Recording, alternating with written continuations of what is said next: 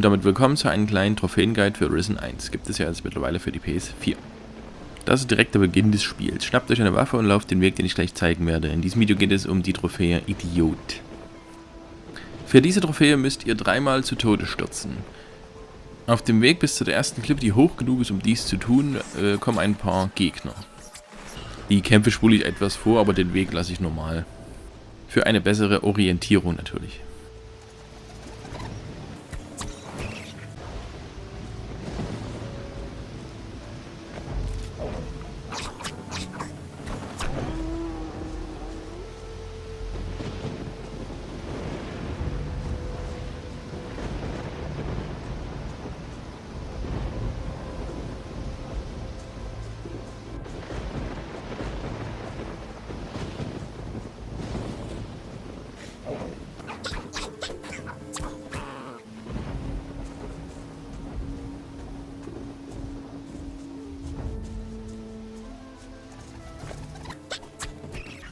Dies war der letzte Gegner. Wenn ihr euch bis hier hoch durchgekämpft habt, seht ihr dieses Haus. Wenn ihr dieses Haus seht, biegt ihr links ab.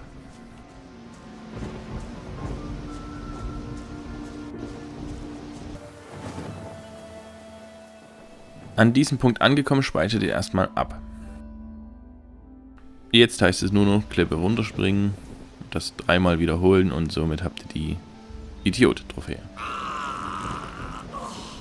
Einfach wieder Spielstand laden und immer wieder wiederholen.